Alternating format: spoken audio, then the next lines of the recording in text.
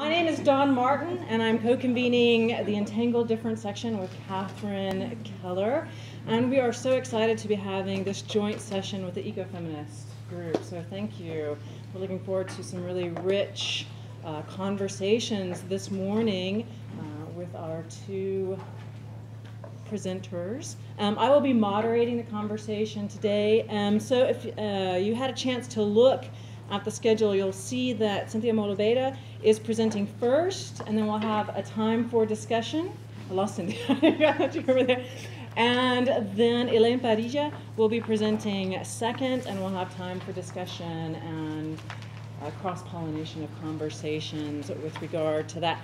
Um, if, because just for time, if you have pressing questions for Cynthia and we just have to move on to Elaine's paper, be sure you write them down. And hopefully at the end we'll have opportunities to have additional questions and again, this cross sectional uh, conversation begin. Any questions before we start?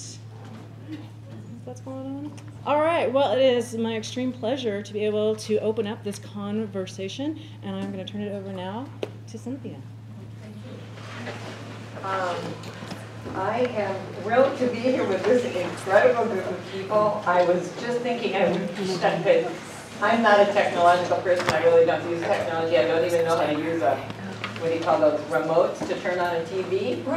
But I wish I had now a little cord that I could plug into everybody's brain and, and suck in their knowledge and their insight into all of these things. So maybe. Um, I have changed my title a little bit. It, it was, I, have changed the title to Climate Change as Race Debt, Class Debt, Climate Colonialism, colon, Moral Conundrums, Vision and Agency. I took out the public policy part because I couldn't do everything in 30 minutes and maybe we will talk about public policy as that as the conversation goes on. So there is that slight change. Um, there are so many people here I wish I could call out and thank, but I won't do that other than that I do want to thank my wonderful mentor and friend Larry Rasmussen for um, without whom I would not be doing what I'm doing. So this is a, a, a great thing. Um, so the axes of privilege and power based upon difference, how it is constructed, and how it is abused are lifted to a new plane by climate change and the new world situation into which it plunges us. A new category of difference appears. Intertwined with race, class, and gender, it is the axis of climate privileged and climate condemned. Who causes climate change and who dies from it is a foremost moral issue of the 21st century. The race and class dimensions of the dilemma are stark. Climate change may be the most far reaching manifestation of white privilege and class privilege yet to face humankind caused overwhelmingly by the world's high consuming people, it is wreaking death and destruction first and foremost on impoverished people who are also disproportionately people of color. You notice I don't say poor people. I was at a meeting at the UN of the World Council of Churches about a decade ago, and someone stood up and said, Quit calling us poor people. We are impoverished by systems that enrich many of you. So I no longer talk about poor people. The, uh, the island nations rendered unsuitable for human habitation by rising sea levels, subsistence farmers whose crops are undermined by climate change, and coastal people without resources to protect from, protect against, and recover from climate related disaster are not largely responsible for greenhouse gas emissions, nor are they, for the most part, white. Many voices of the global south recognize this as climate debt, climate colonialism, climate imperialism, and situate it as a continuation of the colonialization that enabled the global north to enrich itself for five centuries at the expense of Africa, Latin America, indigenous North America, and many parts of Asia. It was while working on eco justice issues in India where I was invited to spend about a month, that I learned about the ideas of climate colonialism and climate imperialism, which was the term used by the National Council of Churches of India, which had instituted an eco justice Sunday school curriculum to be spread throughout all of India. And this was uh, five years ago. The moral problem has three layers. At first, I thought it had one. First, the people most vulnerable to the ravages of climate change are, in general, not those most responsible for it. That's the layer that I've already discussed. Second, climate privileged societies and sectors may respond to climate change with policies and practices enabling us to survive with some degree of well being under the limited conditions imposed by the planet, while relegating others the most climate vulnerable to death or destruction as a result of those conditions. There is a third problem. Um, and this I learned only this summer from a colleague from India who helped me to see that measures to reduce carbon emissions designed by privileged sectors may further endanger climate vulnerable sectors. A team of Indian scholars points out that, I quote, Poor and marginalized communities in the developing countries often suffer more from climate mitigation schemes hmm. than from the impacts of actual physical changes in the climate. End quote. So, those are three layers that I suggest of the moral problem. Within the US, too, economically marginalized people, who are also disproportionately people of color, will remain most vulnerable to the extreme storms, food and water shortages, and disease brought on by climate change. In short, environmental racism and white privilege strike again in climate change. My hope is that working together here, we may help forge paths away from this scenario of climate injustice and toward a more just and humane future what we will loosely call here climate justice. What, I ask, what we ask, are the ethical implications of climate change for those of us who are the material beneficiaries of the overconsumption and colonial heritage that now culminate in climate change as climate debt. The larger project of which this paper is one part involves an interdisciplinary team and considers what changes may be called for at the levels of lifestyle, corporate policy, institutional change, governance, and worldview or, or ideology. Um, so we're trying to look at change at all of those five levels and also look at the motivational and political aspects of realizing those changes. If anyone is interested in that interdisciplinary project, please do um, see me and, and check in with me after this session. This talk's focus is more limited, 30 minutes. It posits climate change as a compelling moral matter of race and class based climate debt and global north based climate debt. That's my part one. Part two draws upon Christian ethics to face the problems of moral oblivion and moral inertia. And a third section proposes a subversive liberative resource in Christianities for building moral vision and moral agency. That is, I oppose moral vision and moral agency to moral oblivion and moral inertia. And then a final part looks more practically at that resource, and I'll ask us all to do that together rather than me in a presentation form. Along the way, I proposed the concepts of climate privilege, climate violence, and blinders of climate privilege as tools for demystifying our situation, climate reparations as a dimension of a moral response, and climate citizenship as a form of moral identity. So, on to part one climate change as climate debt and climate colonialism. Climate debt, I think you may know, is a term coming from the global south to describe the imbalance between those nations and communities most likely to suffer most and worst from climate change on the one hand, and those contributing to it on the other. Why look at climate change as climate debt? I offer three reasons. First, what constitutes the morally right response to a moral dilemma depends upon what the problem is understood to be. Inadequate analysis leads to inadequate diagnosis and remedies. To illustrate, when asked in the mid 1940s about the Negro problem in America, James Baldwin responded, I quote, There is no Negro problem. There is only a white problem, end quote. The history of white racism in the US in housing, healthcare, law, education, toxic land waste, etc., would have been dramatically different had we recognized and addressed race as a white problem rather than a black problem. Response to the perilous reality of climate change frequently is framed around the principle of sustainability. Climate change, as a matter of sustainability, calls for reducing carbon emissions through technological advances, energy efficiency, and energy conservation, and replacing fossil fuels with renewable energy sources. These moves are crucial to be applauded and supported and embraced.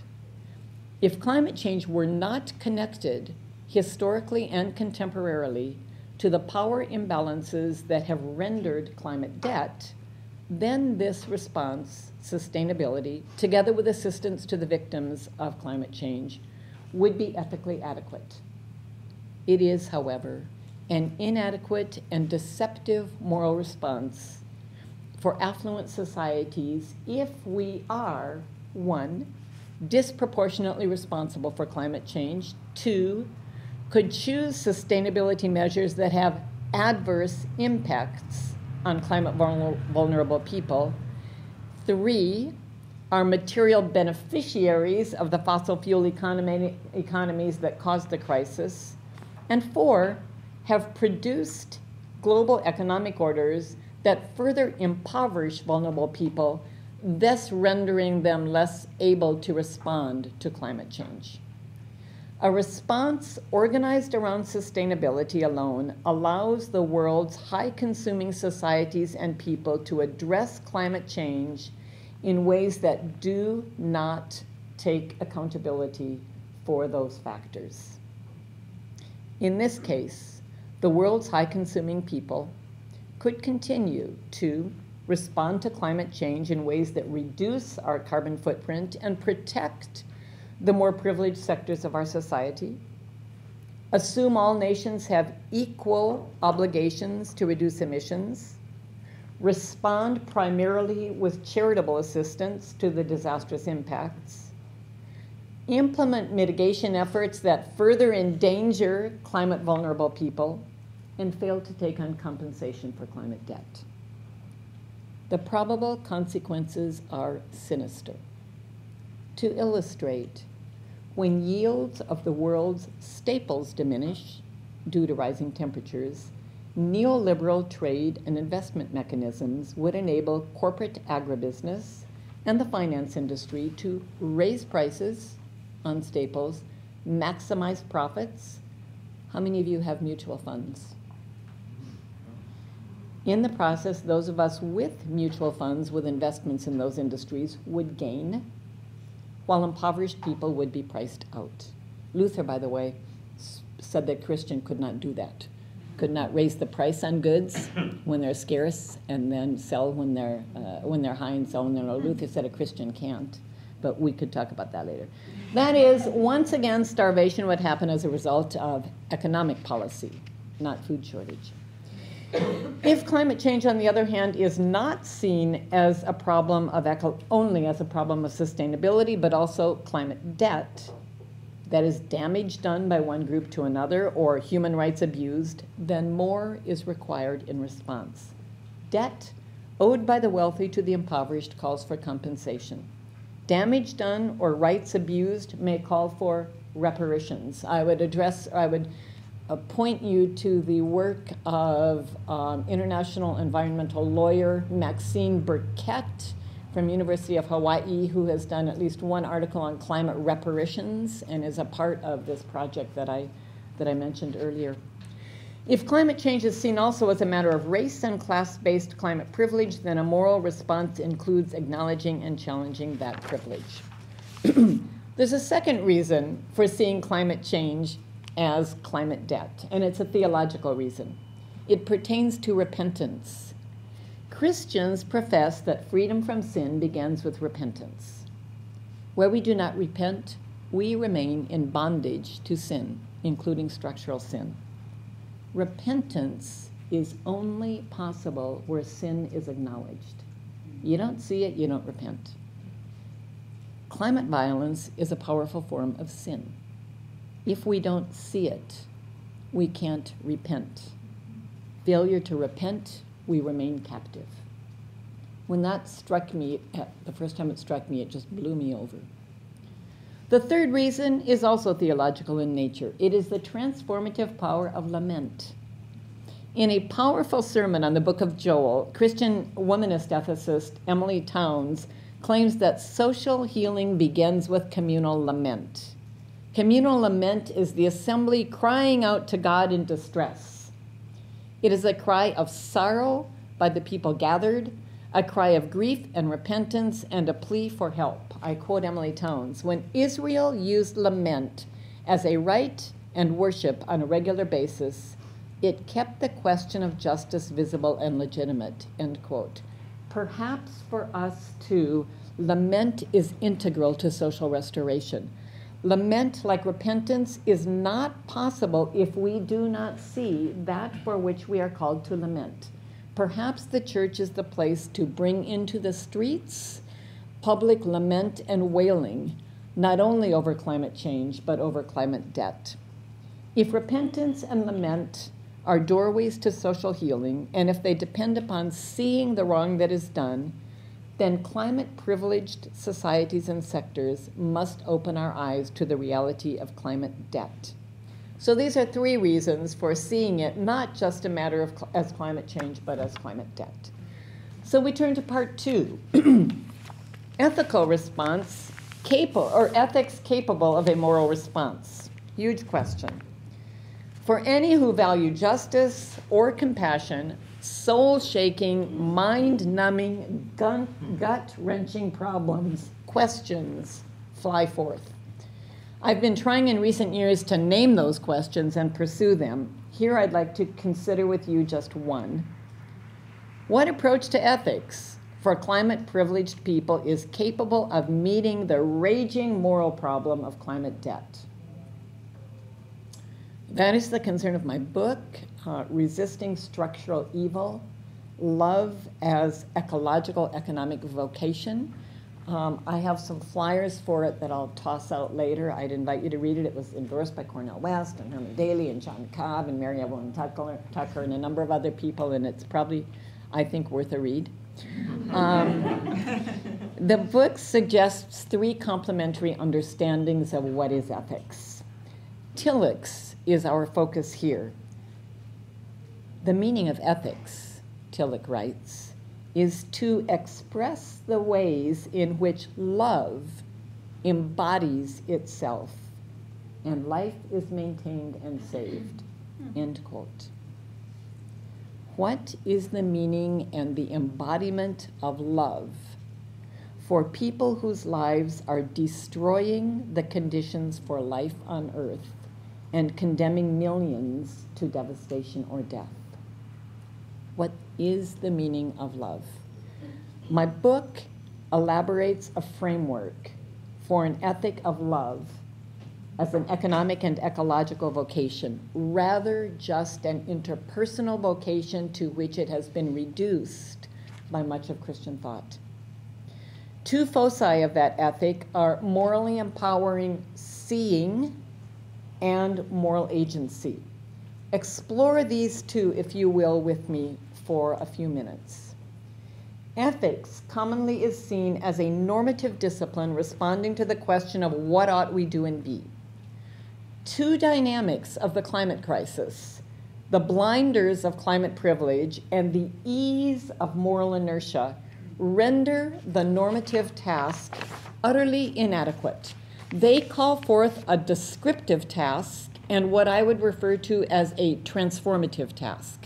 That is, in addition to the normative function, ethics must also, one, enable seeing reality for what it is, in particular, demystifying what is hidden from view by the blinders of climate privilege. That's the descriptive task. And two, ignite and sustain moral agency and hope for radical change toward a more just and sustainable way of being human on earth. That is the transformative task of ethics. I cannot overstate the crucial nature of both. The survival of civilization in a relatively humane form may depend upon them. The two must be held together because the former, seeing climate debt clearly, is a fast and sure way to disable the latter, moral agency and hope. What we need then is an ethic for climate justice that is capable of seeing reality for what it is, and in spite of that, instilling hope and moral agency. That is the charge to ethics and to all people of goodwill at this point in human history. Only, however, by unearthing why we fail to see can we transform that oblivion into courageous moral vision. In previous work, I have dissected moral oblivion, naming eight ingredients of it. That's part of the book that I mentioned, um, and possible paths to overcoming them. Here I'd like to just note two other barriers to seeing what it is that we are doing when we carry on with public policies, corporate and institutional practices, and lifestyles that spew deadly amounts of greenhouse gases into the air. And then I'd like to explore some territory in response to the second of those two ingredients, and then throw it open for our discussion.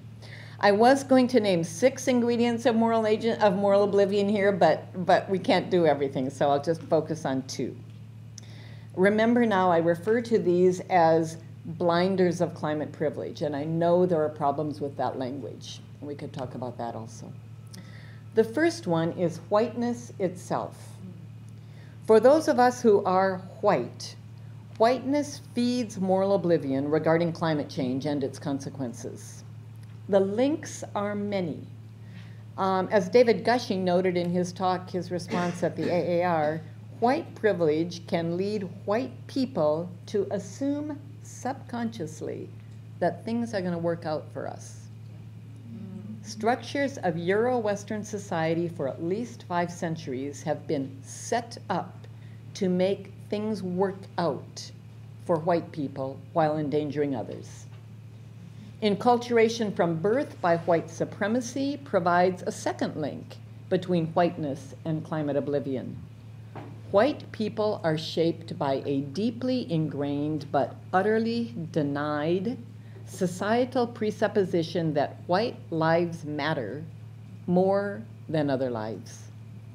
And the lives of moneyed people matter more than the lives of economically destitute people. North American and European societies would respond differently to climate disaster if we were experiencing that disaster now, as it is experienced now, by Africans bearing the drought, or the Maldives preparing to be submerged by rising seas. Privileged folks in the white, uh, privileged white folks in the US would respond differently to the fossil fuel orgy if we were living in the horrors of shell oil in the Niger Delta or Cancer Alley in the United States.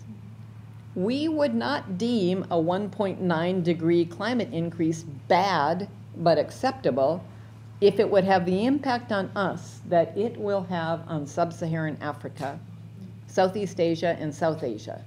That is death by starvation and water shortage. So that's one barrier, whiteness.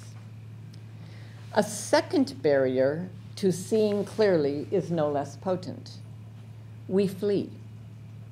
We flee from the shame, the guilt, the sense of powerlessness that truly seeing would evoke.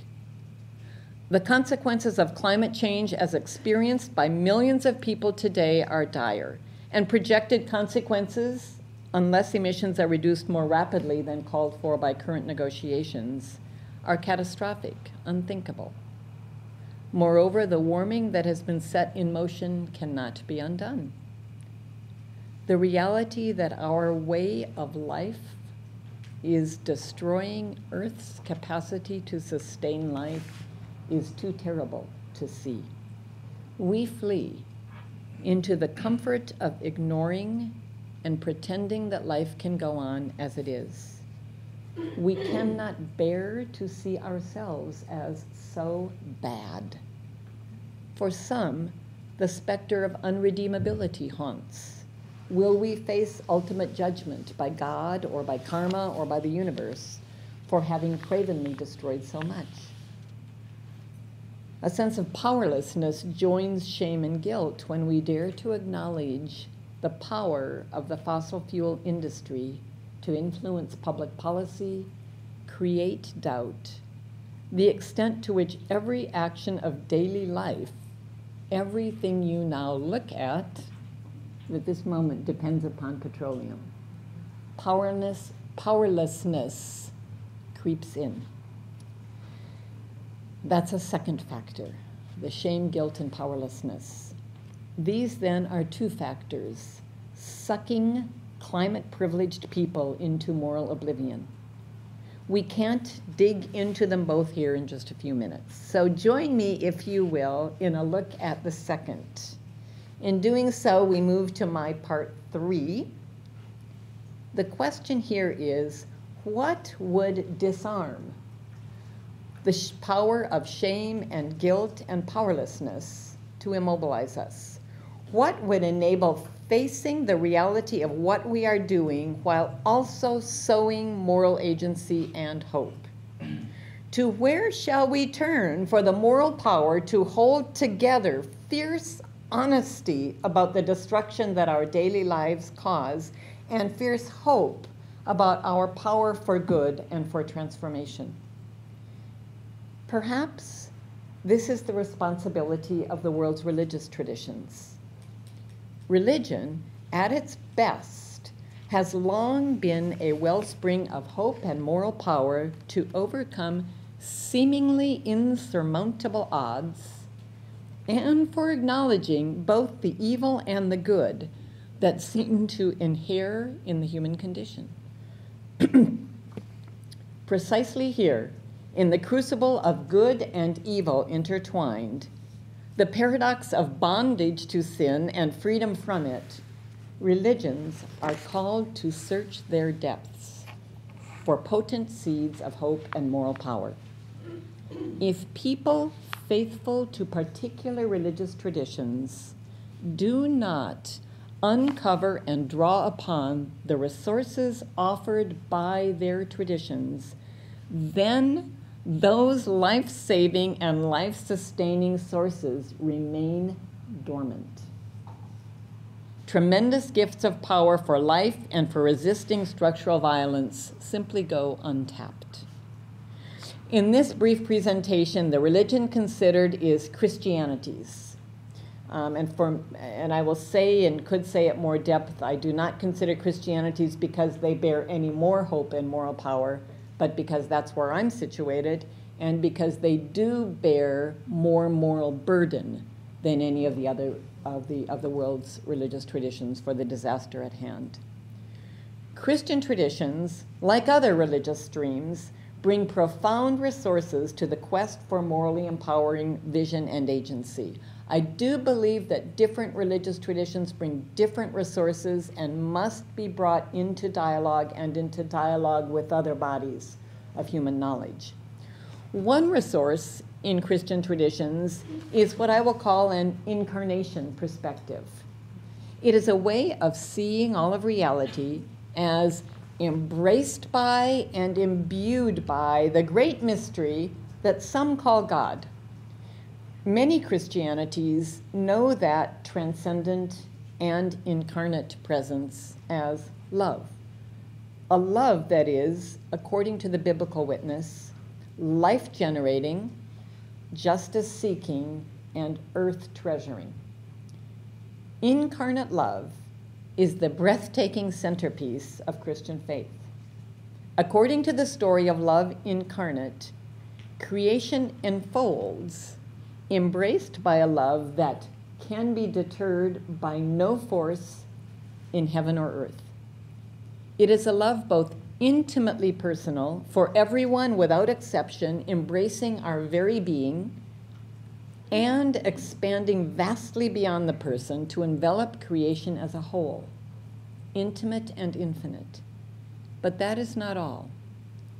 Christian traditions hold that this spirit of love, the creating, liberating, healing, sustaining source of all that is, is at play in and within the world, as Luther said, pouring and flowing through all things, even the tiniest leaf, breathing life into the world. It is present within, among, and beyond Earth's creatures and elements, luring us and the entirety of creation toward the kinship of God, a world in which justice and compassion and joy are lived in their fullness, and creation flourishes, flourishes in the light of God. but there is more. We human creatures are not the only ones called to embody that love, but we are created and called to recognize this gracious and indomitable love, to receive it, to relish it, to revel in it, and to trust it. More astounding yet, after receiving and trusting divine love, humans are called to embody it in the world. We are beckoned to be the body of God's justice making, earth relishing love, working to bring healing and liberation to all. Here is where we arrive at a terrible truth. We human earthlings embody this love with a consciousness and capacities unique to the human. That consciousness is the capacity to recognize the brutal and deceptive forces lined up against this love and our propensity to comply with, organize, and nourish those forces. This is the blessing and terrible burden of being human. I call it a trifold moral identity. We are at once beloved beyond measure, two, body of a love that surmounts all else, and three, broken by the magnetic pull to counter that love. But let us return for a moment to the particular nature of this love as manifest in the life of Jesus and the quest of his people, the ancient Hebrews, to know that God. This love revealed in Jesus and his scriptures is one, excuse me, not is, this love, one, created and is creating paradise. Thank you, Rebecca Parker. Two, this God treasures the earth and serves and preserves it. Thank you to the Hebrew scriptures, Shamar and Abad. Three, holds justice making as its centerpiece. Dan Maguire, Catholic moral ethicist, says the love language of the Bible is justice.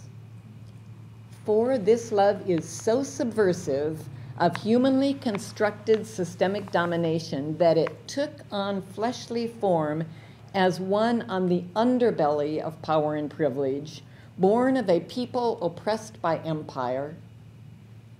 And five, this love persisted in challenging that domination and exclusion institutionalized by imperial power, even at the cost of execution on a stake.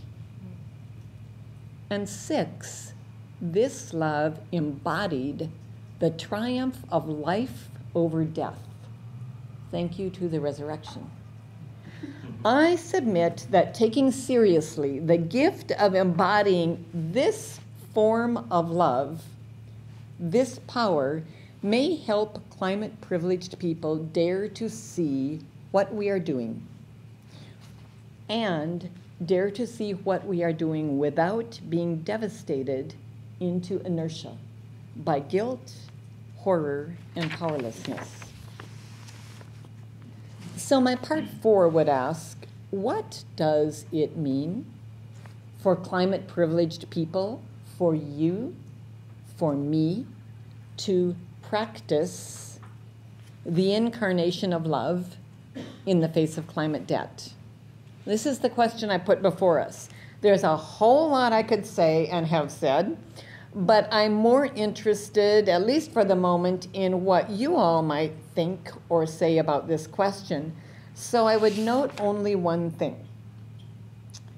What love is and requires is the great moral question permeating Christian history and the history of the Hebrew people before the Christian people. What can be said is that the love of God, as known in Christian traditions and in the tradition of the Hebrew Bible, is contextual. It asks different things of people based upon their locations in the entanglement of difference. Daniel, uh, process theologian Daniel Day Williams says it well. I quote Love changes form and brings new form into being. God's creativity and freedom reform the modes of love's expression. End quote. What form then does love take for those of us who are disproportionately responsible for climate change and owe our material wealth to the fossil fuel economies that generated it? What is love's bidding, in particular for white, economically privileged U.S. citizens in the 21st century? I will, for the moment at least, leave it with that question. Um, throw that open for your discussion and bring other thoughts to the table if that seems appropriate. Um, if I don't end up bringing other thoughts to the table, well, we'll stop there. I have about one more paragraph to share with you, but I'll do that at the very end.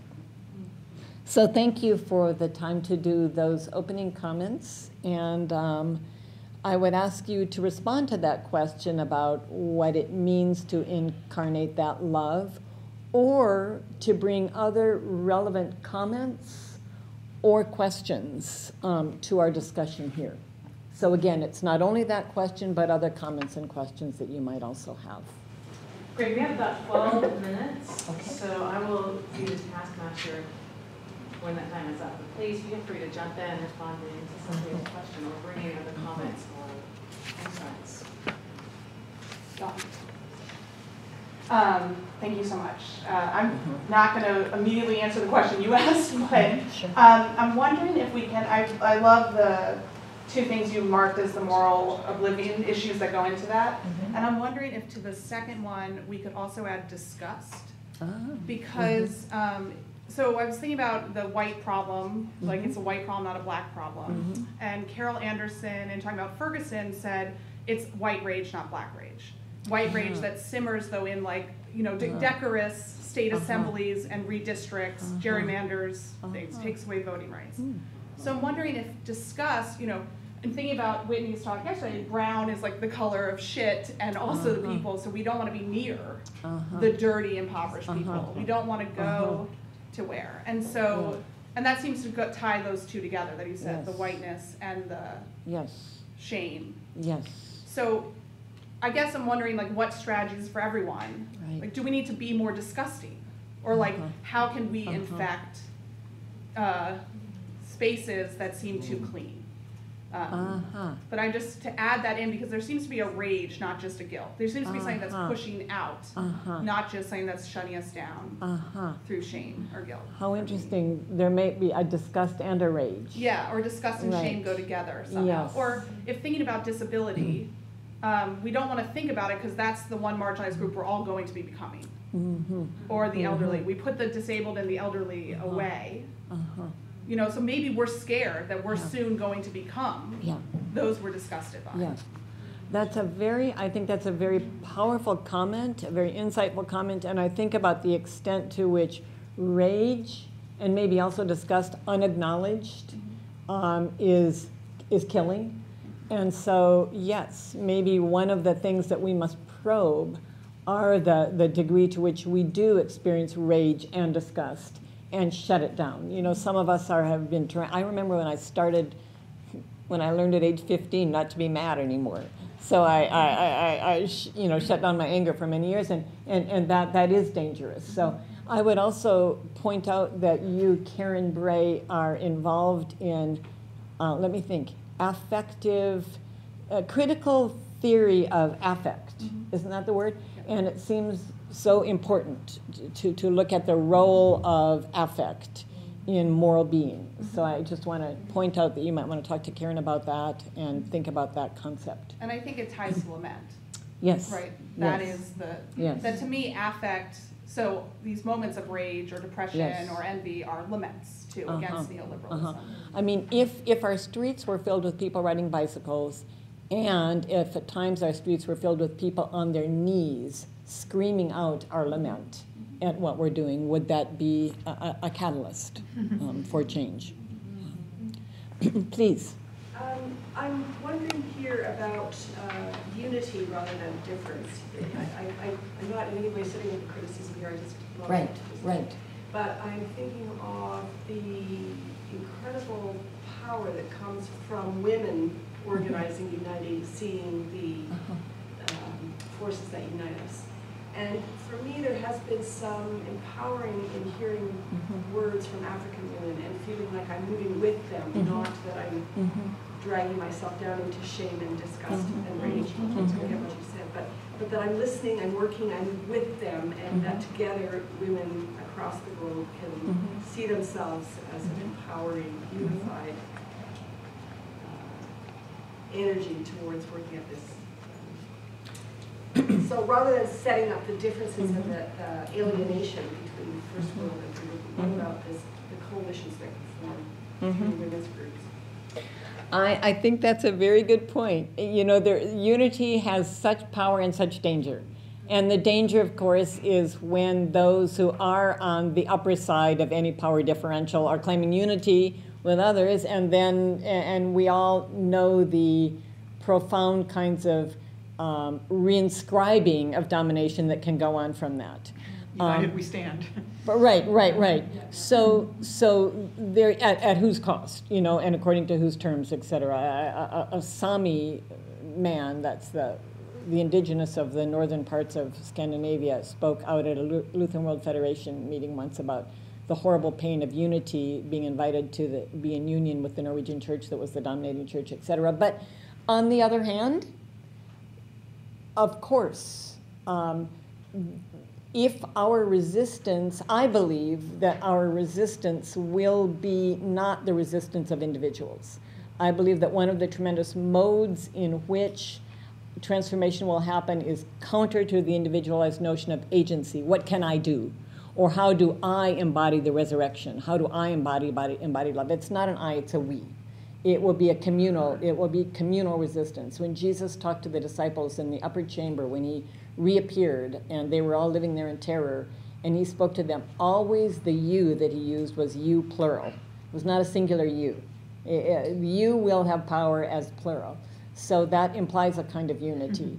Um, it seems to me that one place in which unity could be very powerful is to claim our identities. And now I'll speak within Christian traditions, but you could do that in multiple traditions as standing in a heritage of resistance. Mm-hmm. So we can claim if, if our little people, our little kids, were socialized into believing that they did stand in a kind of unity in a heritage of resistance. So in my church, that, that the little kids stand firmly in the heritage of the Hebrew midwives that saved, mm-hmm. That did what they did, and then stand firmly in the footsteps of the martyrs who resisted imperial Rome by saying Jesus is Lord, and then stood firmly in the heritage of the Huguenots, who the film where the Huguenot woman, after 17 years in prison, um, carves with their fingernail resistance in French, of course, in the in the tower. And if we and, and stood in the in the, the the heritage of the the Jews in the village of La Chambonne, I don't speak French, that saved. So what if our what if we trained ourselves in Christian traditions to understand that to love our neighbors not only meant to be kind, but to stand firmly in a heritage of resistance. That could be powerful. I think about I think about the little kids in my church, and we, we called a, a Baptist, I'm a Lutheran, a Baptist minister to be our, our pastor of family and youth and she can't most of the people in the church didn't know her history. She was a very loving and gentle and jesus loving woman. Talked much more about jesus than most lutherans do which i, I really appreciated. But um, she in her one of her first sermons it was on paul when he was in prison and she stands up there and to the little kids all gathered she said well i could empathize with paul in prison in chains in solitary confinement because the last time I was in prison, I was in solitary confinement. And then it goes on that the woman's been arrested 27 times for civil disobedience, and she's teaching our kids. And so I, I do think that a kind of unity in resistance is, is, is a powerful possibility. Please. And your name, you, you, I forgot. Laura Stewart, and I come from the upper Delaware River Valley, which is where the headwaters of the Delaware River gather. And it provides the, it's a beautiful watershed that is, uh, gives 18.3 million people water, New York City, Philadelphia. But we created an upper Delaware River roundtable um, because to, to foster communication across the border, because the, the river is uh, the border between Pennsylvania, New York, and then New Jersey. And the roundtable is really based on process uh, philosophy in that um, the whole point, we didn't have a, um, uh, the whole point was to foster communication that would lead to collaboration.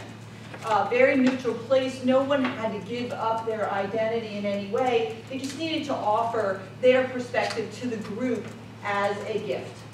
And because of the nature of this kind of neutral, uh, collaborative um, atmosphere, we were uh, we were asked, or uh, we spent a year looking at the um, the uh, best management practices for uh, the development of the Marcellus Shale. So this was a room that had gas executives and uh, NGOs and activists in it, and we maintained that neutral uh, environment and vetted this report by the Pinchot Institute for Conservation about what would best management practices look like in the shale industry. Out of that, the group decided that we needed, we needed to look at where the holes were, what wasn't being looked at.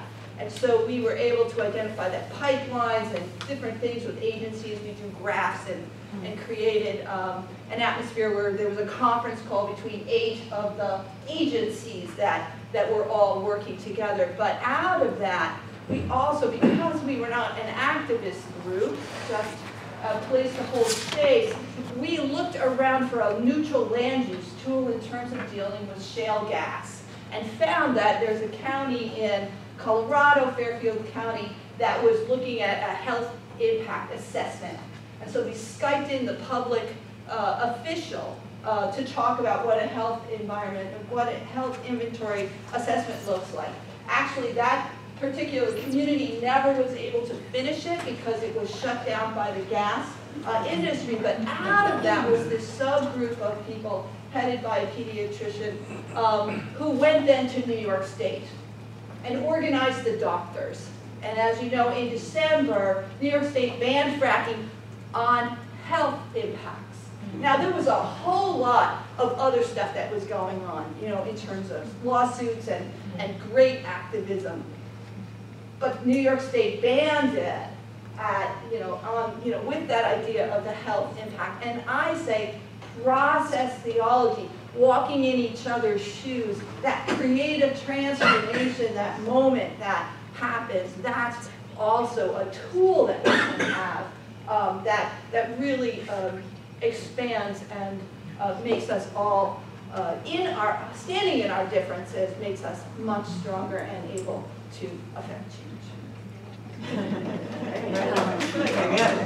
Don, I've Don, got one more question. I I was going to say, just for you to know, I, I want two minutes. Or we need to, we'll transition to your two minutes then, and then we'll. I'm sorry. No, no, no, well, this will give us time at the end to hopefully have time Okay. to wrap up. I just wanted to leave you with two images um, because images are so powerful. And one of them, has anyone seen the movie As It Is in Heaven? It's a Norwegian film. Oh, yes. Okay, there's a there, there- there's a film, and and I want to talk with you. I want an image for the the um, communion and union. Um, and, and you know, I don't say this sugary sweet Hallmark cardy when I talk about love. I, I mean a very active, uh, subversive presence. The communion and union and presence of divine love that we are called to live into. And the best image I can give you is from this movie. It's a composer who goes through a, a very difficult life, et cetera, et cetera, but he's a brilliant composer and he brings music and singing out of people in splendid, life transforming ways. And someone asks him, What are you doing when you create this music and create these people singing? What are you doing? And he looks at them and he says, Well, I'm just calling down the music that already exists. And I think we are in our in our communities of resistance and we are build, rebuilding. We are calling down the energies that already exist. And then the other the other image that I'd like to leave with you. I know it's not so good to leave two image, images, but I am. Um, comes from Teilhard de Chardin, who says, "When we harness for God the energies of love." we will, for the second time in the history of the world, have discovered fire. It is time, my friends, to rediscover fire. There we go. Okay.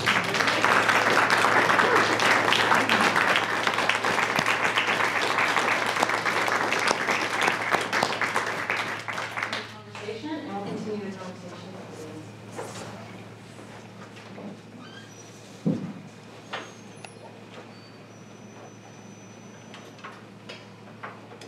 title of my paper is Bad Omens, Spooky Differentiations, Deconstructing Racial Distance in the Face of Ecosystem Annihilation. And I think that in some ways it complements what Cynthia has just shared and what perhaps others have shared before me uh, in the previous sessions yesterday.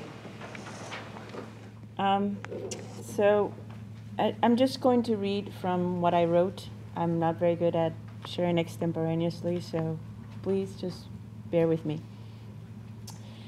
Antonio Negri concludes his essay, The Spectre Smile, with a quaint dining scene from Alexis Tocqueville's Recollections, based on the French workers' insurrection in 1848. He tells us how the sounds of cannon firing at a distance frightening the diners whose faces immediately darken. And then also uh, about a young waitress, he says that a smile escapes her as she is serving their table.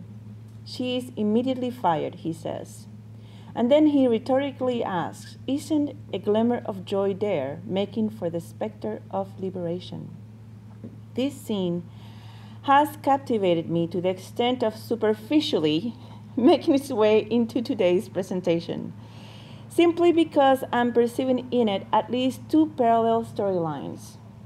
One between those ghosts of the past that continue to haunt our present socio-economic systems, becoming at a rapid pace more visibly recognizable in the wounded bodies of environmental degradation, the majority, as Cynthia had just shared, being dark-skinned, and another, a, catal- a catalytic solidarity traced in the smile of a lowly waitress, opposing these mechanisms that seemingly operate without subjectivity.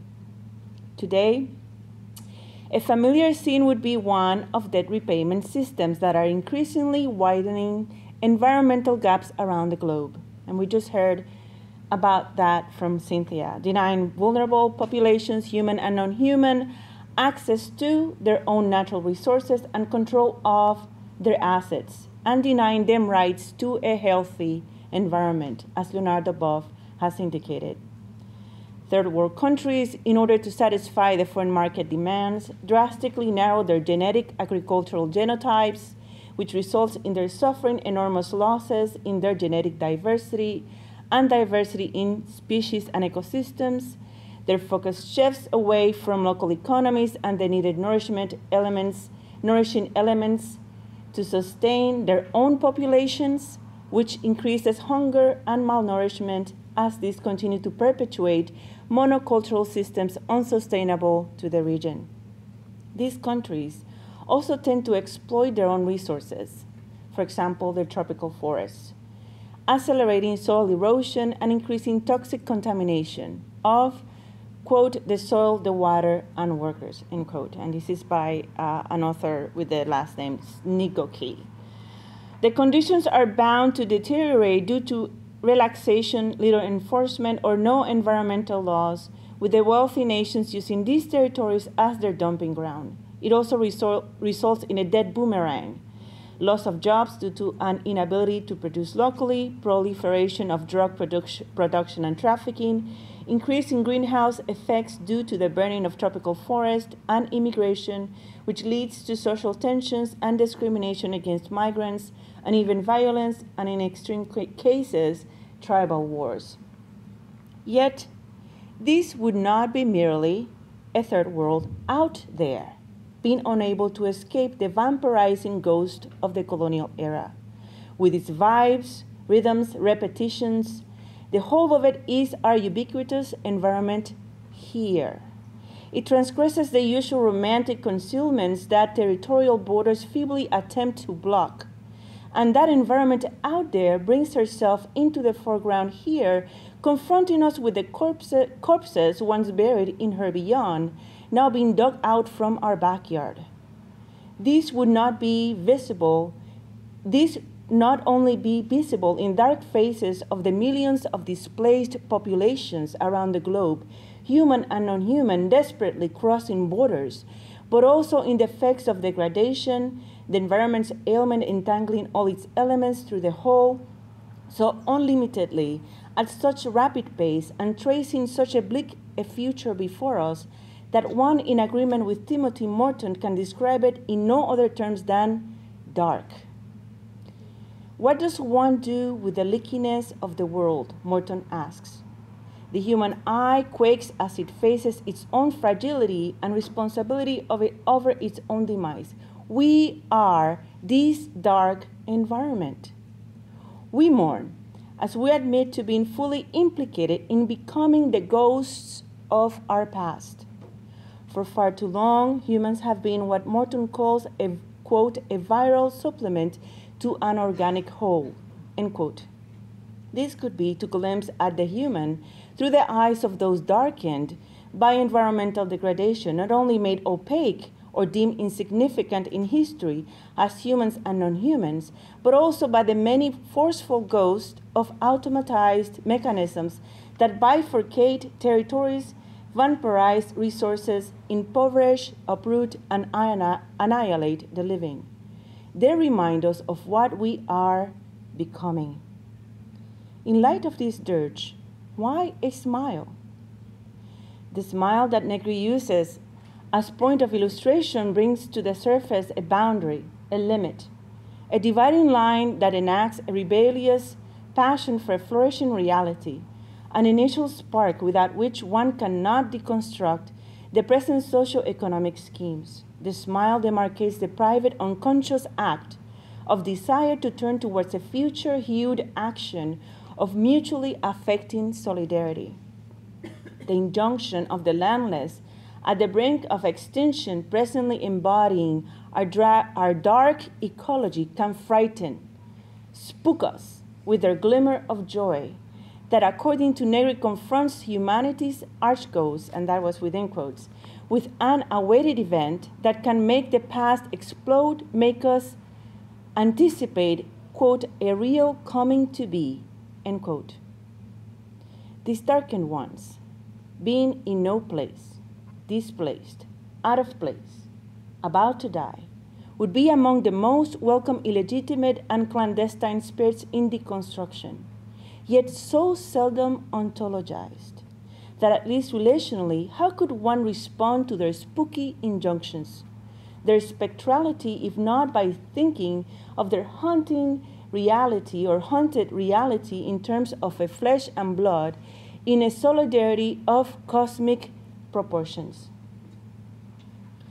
Two constructive pathways come to mind. And on this, I follow the pathway of Catherine Keller quantum entanglement and process thought.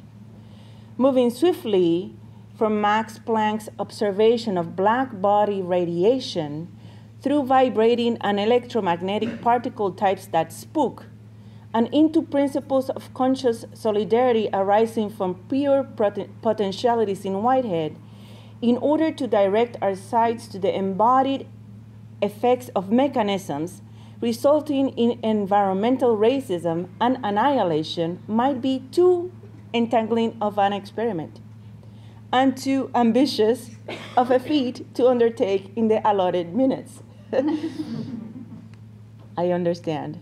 I am only able to gloss over the dynamically binding quality that I see present in the phase entanglement of quantum physics and Whitehead's, Whitehead's pure potentialities.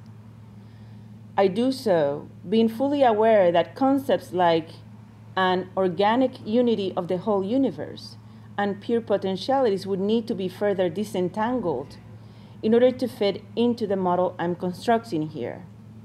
In particular, pure potentialities, since these are neutral to any physical ingression, and in Whitehead's words, in any particular entity of the temporal world, end quote, if being attached to a dark embodiment of any sort would be to stretch their intended meaning too far and wide.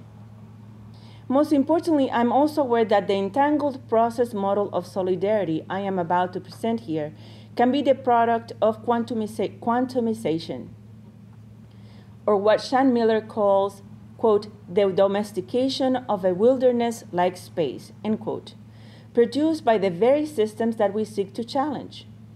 Here also, the cosmos can resemble what he terms as a space of flows, or current systems of easy spread of information through networks, not too unlike the global integration of financial markets, segmented articulation of production, and proliferation of international trade. Still, even as the processes of entang- entanglement cannot distance themselves from the negative impact of past and present materializations of colonialism and today's space of flows, might these also signal with their infinite leaps a potential for catalytic solidarity that is mutually constituted and can result in a planetary flourishing yet to be realized? A spooky action at a distance and that's how they called the entanglement. A spooky action at a distance crosses vast distances beyond the explicable media and properties come to be shared even upon separation. And you will need to read Catherine Keller's book, The Cloud of Unknowing, to know more about that. Like waves, they approximate or bring together or put into contact even disparate geometries with their distinct cultures. And while the points of appearance of, of string particles are indeterminate, hence deemed flaky, and less, re, less reliable sources of, to predict optimum outcomes, that is, any effort might seem futile, these can still pose the chance, the possibility, for things gravitationally pulled toward a recreative center with qubits working together to solve problems. Their potentiality being arranged differently can lead to the new. From a process perspective, because of a familiar ontological principle called, quote, the universe as solidarity, end quote, whereby, according to Whitehead, quote, everything is positively somewhere in actuality, but in potency everywhere, end quote. I am venturing to say that the pure potentialities of the darkest of ecologies can be felt, inhered, prehended among subjects in similar entangled manner, even at an unconscious level, since the universe is a solidarity in itself. That is, an entangled and entangled, unentangling universe.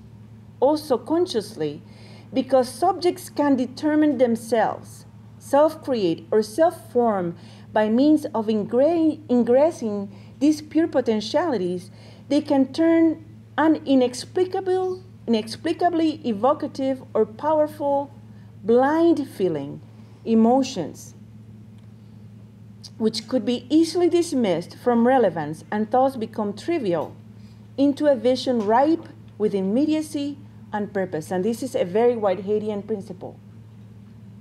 For instance, an initial emotion such as, as fright that Cynthia was presenting to us, the fright, or to the, the fright can lead to mourning and steer compassionate love, the compassionate love that Cynthia is talking about, rather than cause flight or to shirk from responsibility.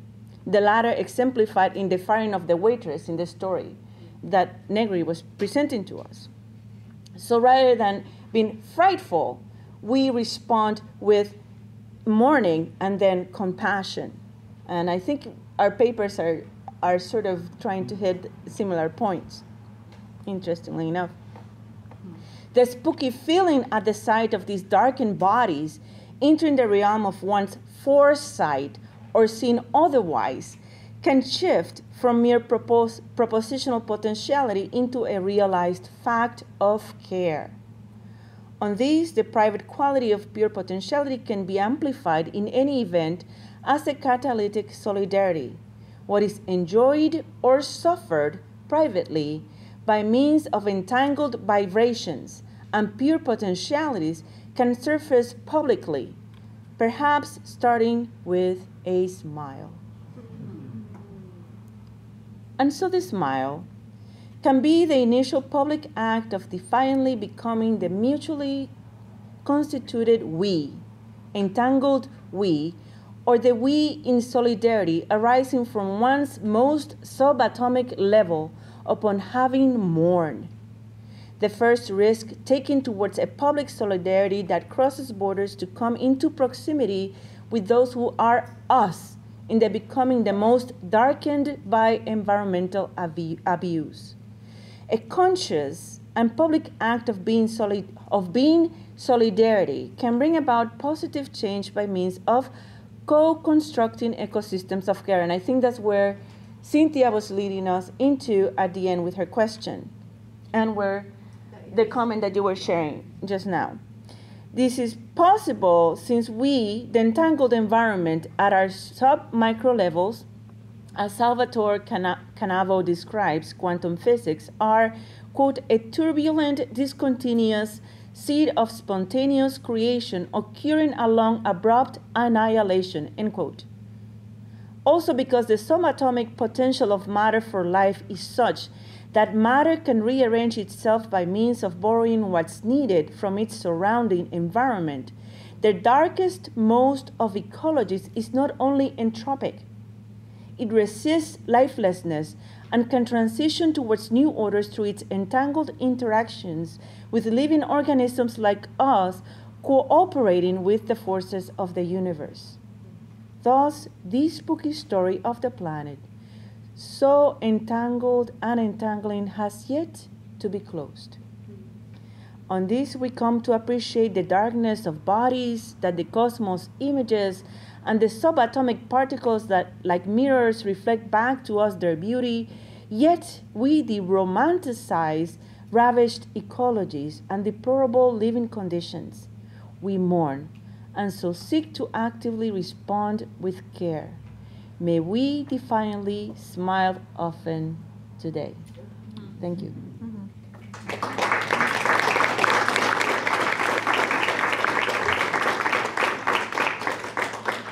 All right, we have some spaciousness, which is amazing and fabulous to be able to discuss the resonances, the resistings to lifelessness and incarnational energies that uh, Cynthia was touching on. So I guess we can open it up.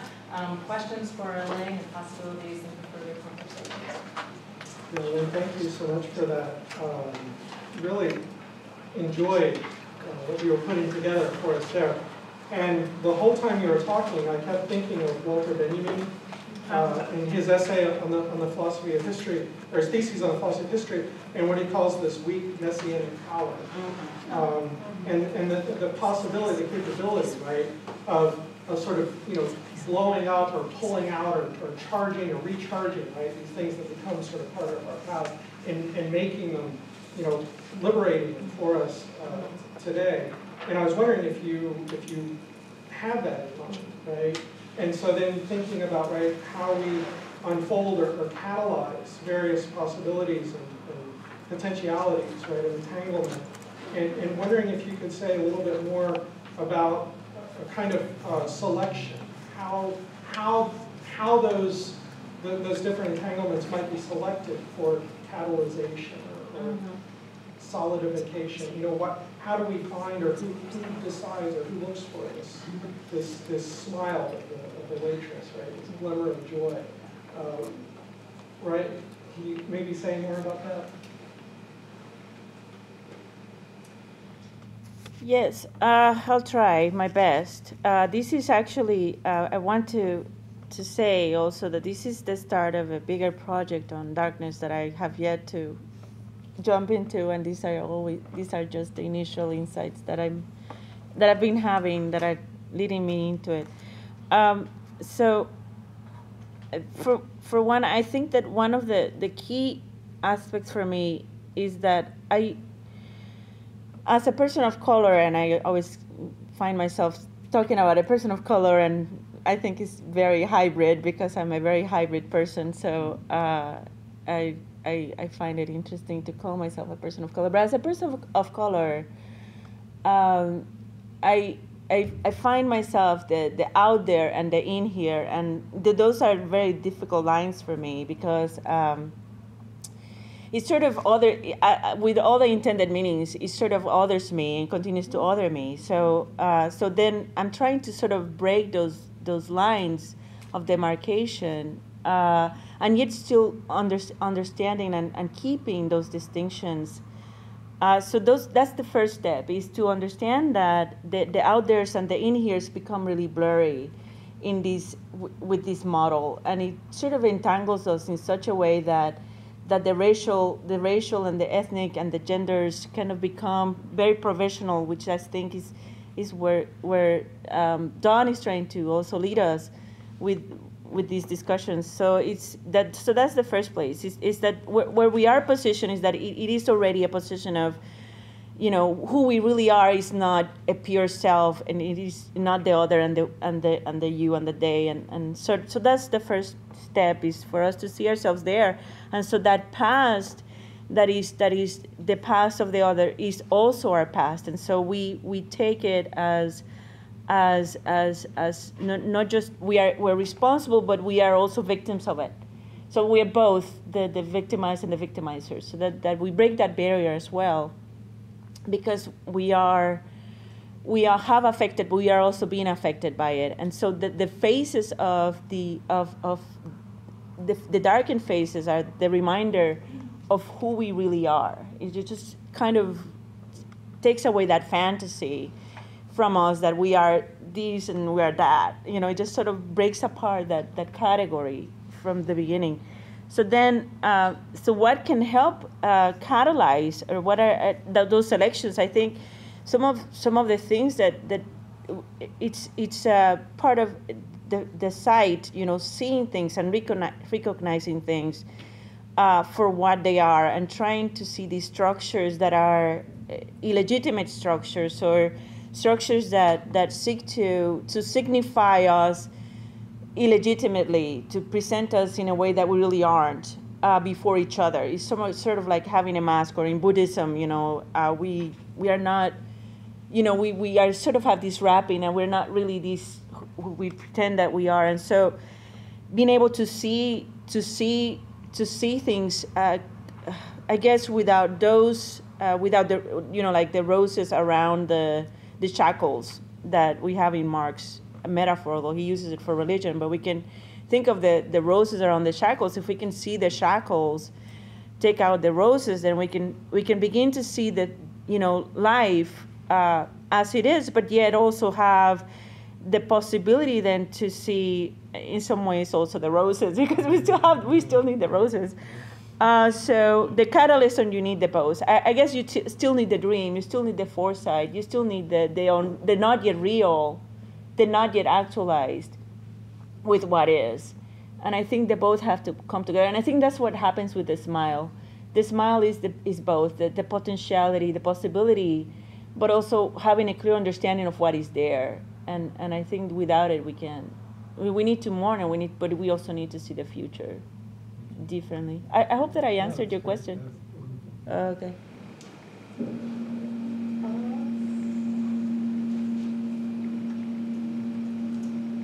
Integration. I mean, I thought that Elaine did an amazing job of drawing connection, because I think that there are a lot of resonances with regard to the, to the two presentations that we had today with regard to, one of the things I thought that y'all- both addressed was this stripping away of sort of romanticized love or hallmark love or nostalgia as a way of becoming trapped in divergence. Um, and really getting down to the hard work of what is love? What is, what are these potentialities that spark um, a form of love, whether it be in resistances, heritages of, of resistance, or these unexpected um, sparks of someone's smile. I mean, I think uh, even what the Clayton's been into, the idea of who's the subject, who recognizes the smile, because sometimes we're, we are surprised even if we're smiling. I mean, sometimes I'll find myself smiling, I don't even know, and someone's like, what are you happy about? And I'm like, "Uh, I don't know. what am I? So I think that a smile also can kind of, it's that embodiment of the unexpectedness even of our own embodiment, but also it has these potentialities and powers that we sort of have to try to be aware of and attentive to in ways that maybe we haven't been, or that we have been diverted from the roses, um, but also being close to the roses for the chains also. So I don't know if y'all maybe like to engage also, or I'm a physician, and I want to make a medical comment about that. There's clear research now that smiling, of course, is, when you see smile, you think that person's happy. But if that person is not happy, and this has been proven, teach them to smile, they will be happier. I mean, it works both ways. Interesting. And it may be a feedback they get, but it, it's thought to be something internal. So, I mean, all people smile when they're happy. I mean, it just, there's something, just a little bit of medical research there. Yeah. Take it home and use it. Well, I, I was thinking um, about this use of the term love. And I'm realizing that it's a problematic word in ways that I didn't know it was problematic. And one of them might be that we just can't resist assuming it means what we've always thought it meant, hmm. which has to do with a good feeling of some kind, an affectionate feeling of some kind. And in the work that I've done to try to understand love as a biblical and theological norm, that's not a necessary ingredient of it. And, and love at its best does include affection, etc. But I decided recently in teaching, not when I'm trying to get my students to understand the magnitude for societal transformation of this term, and that it's not, um, Hardt and Negri in one of their other books talk about, these are social theorists, and they talk for the, the need for a reclaiming of the theological norm of love. Uh, I think it's the book Democracy, what's the book that starts, has the word democracy in it? Anyway, and, and, and they do a good thing about love, and then they say that we need to feel for all people the kinds of feelings that we would have for our intimate relations, our, our, our parents, etc. And they're wrong on that. They're absolutely wrong. That's not the meaning of, of love as a political norm. It does not mean that we need to feel for. It means that we need to establish ways of living that enhance the possibilities of life for regardless of the fact that we can't feel for everybody that way. So they have a, they have a very naive notion of, of what that means. And I started to, in teaching, ask my students not to use the word love as they're trying to understand this word that has two different Hebrew words and three different Greek words in, in the biblical texts, and just to uh, uh, not use L-O-V-E, but make up a different word. We've, I've, we've used the word boil or, or schneal or, or, or some other word to, to designate this incredible quality of that, that many traditions claim imbues the universe and that, that Christian and Hebrew traditions give such concreteness to and claim this embodiedness of. And what does it mean for how we are to live? It is certainly not just a private interpersonal thing. That's one thing clearly, if you, if you read the Bible, it's not that.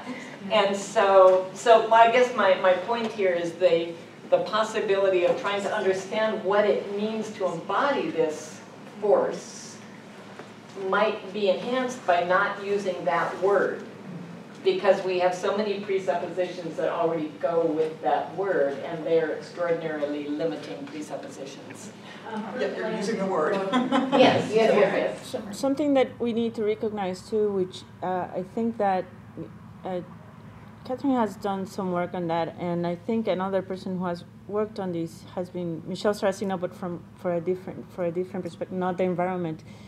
Uh, is that we do have to acknowledge the the uh, the private aspect of it in the sense that there are, and you probably would be working. I don't know. I haven't read your your material, but the private aspect of which is what what is the the, the aspects that are internal to us that that irk us that that that eat us eat away and that that our reactions and that for example the media or propaganda can easily tap into those emotions or those private thoughts or feelings that we don't verbalize or embody and and can can easily hijack them and and use them as you know puppets and mobilize us in the wrong direction. I think the key would be for us to acknowledge those but also to activate catalyze the ones that that are indeed that the ones that lead to actions that are you know embodiments of love. That, that and that's where the conscious selection processes come because we are we have all these private aspects uh, at a conscious and at unconscious level. And and it is a matter of us to bring them to consciousness and deal with them in a matter in a way that that leads to uh, solidarity. So i Karen? Yeah. Cynthia, did you want to respond? Uh, no, please go ahead. So I- I'll quickly respond to what Elaine just said and then um, back to your, um, yeah, I mean, I, I want to say like, to hold up like William Connolly's idea of micro tactics of the self for what you're talking about there. So like, um, I like to say, um, like for instance, in our most romantic or intimate relationships, like if you are cultivated to think you deserve as much pleasure as your partner, how can that resonate to the fact that then in your democratic citizenry, I deserve as much flourishing as the other person? Um, but I also think James Cone in one of his earlier books wrote that in a racist society, love is the righteous condemnation of everything racist. And so as a universalist myself, I always think like, I have to love Dick Cheney, by which I mean I have to work against him. Like, if you, if I didn't care that that person was destroy, you know, about that person destroying things, like to love someone is to work against them when what they're doing, and of course when you oppress, you are also like, you know, oppression is bad for the oppressor and the oppressed. So if I love the oppressor, it's to work against the systems of oppression that they are um, participating in. And I think like as, again, as a Unitarian Universalist, sometimes it's easy for us to think like we love the oppressed, but we don't think through what that means for what we have to do against the oppressor because we love them. Like that it's, it's the commitment to all of us that makes me condemn them and work against them. And I would just add on to that, I mean, and Tillich, you already mentioned Tillich with his amazing definition of ethics, but his whole work with love um, and the eros with regard to these kind of pushing back and, and troubling a troublesome word that we think we already know the definition of or the expression of, but still like refusing to let go of that because what does it mean? It has resonances, negative and positive, but like you were saying yesterday, how do you work with those tensions, resisting but also acknowledging our privileged status, but wrestling with love as a privileged category, as a contaminated category, but as something that also has so many slippages that it can't, that it has possibilities and potentialities in regard to that. Others, we have some more. I just quickly wanted to recognize, I think, the untapped power of mourning. And I almost, I, I feel that we should, maybe silly, but I, I feel like crying so many times, and I have so many times during this conference. And, and I do smile often, it makes people smile back at me, it makes them think I'm happy. And does it, should I cry more often publicly when I am, when I mourn? When I mourn, why am I hiding my crying and going out publicly? It, it, I feel like it's a little gift to someone else when you smile to them. It's a nice thing to do. It makes them feel better, and maybe that's why we don't mourn at. And look at how Others. Mother Shiva never stops smiling. And so, so, I mean, we don't mourn at other people, so we're not to hurt them, but in fact, by repressing all of that, and so I appreciate what you say. I, I, I often feel like I just want to throw myself on the floor and wail, because it is more appropriate. Well, also, smiling is different from women. You're being encouraged to. I could do it. I think another aspect or related thing is the untapped power of music and poetry. And the extent to which. These non-cognitive realities of human, you know, there's evidence that before we spoke, we sang. And the power of poetry and music to elicit not just emotion, but power. Um, the capacity to, there's a, there's a novel called Julia Alvarez. Uh, her, her book about the poet, the poetess of the Dominican Republic. I don't remember the name of the book, but the power of poetry and music, I think, is part of our fuel and our energy to engender the courage that is needed. Um, I, I, I'm, I am passing out, for those of you who don't have a flyer about the book that I just mentioned, to ins- instigate your desires to read it. You can pass this. But my main point there was just to say, don't, let, let us call forth the musicians and the poets as part of this union of resistance. Any final thoughts by the presenters? Well, thank you, everyone.